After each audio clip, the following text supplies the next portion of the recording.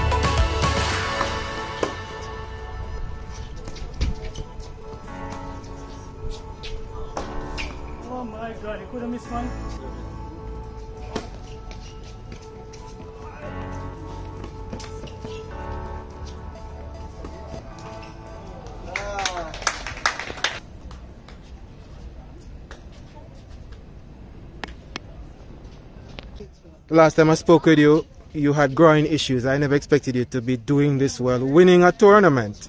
Um, your thoughts on what happened over the past week? What did you do to, to be able to, to get your body in pretty good shape to do this? I went to physio. Right. First of all. Um, well, right. I went to the doctor first, found out what the problem was, and then went to the physio right after. Um, I went to two, two, three sessions this week, and it started feeling better. So it wasn't a big tear or anything like that. What do you think about your match today? Uh, tiring, exhausting, mentally Nick draining. said the same thing. mentally draining. Um, I know he had a longer day than me, so. Um, but once again, congrats to him for reaching to where he reached.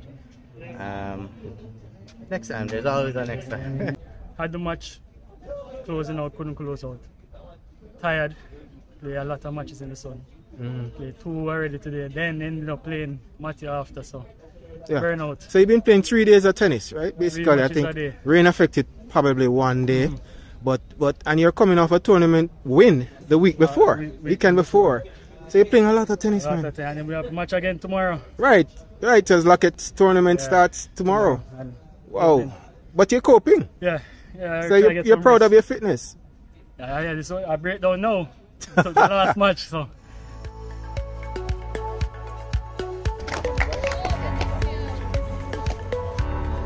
This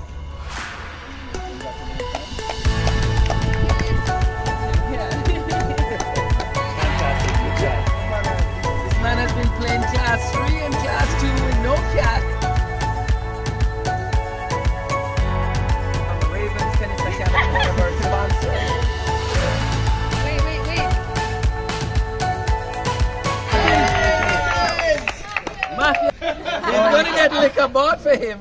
With Format's not bad, but I think what they can do for the next time is put in two groups, you know, and it'd be a, a lot easier, and everybody still gets a lot, ma- a lot of matches. Um, concerning playing women as well, it's good for them. I know Fed Cup's coming up shortly, so it's good training for them as well.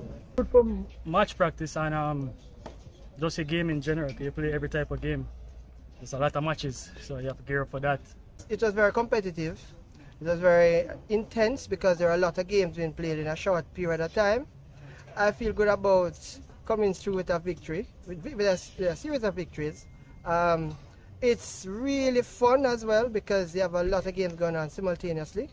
The format where you get to play everybody is really a good format and it, it allows you to be exposed to players who you wouldn't normally play with.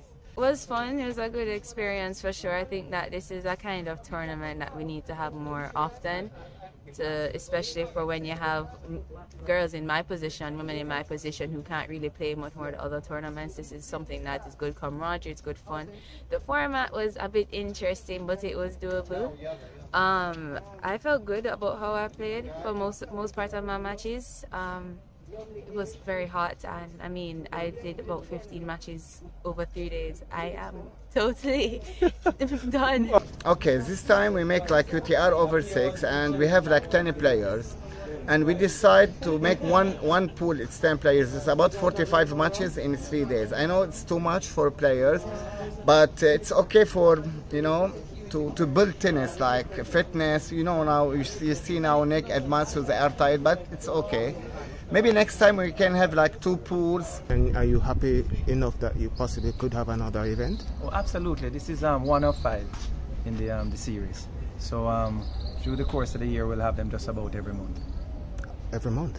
Yes.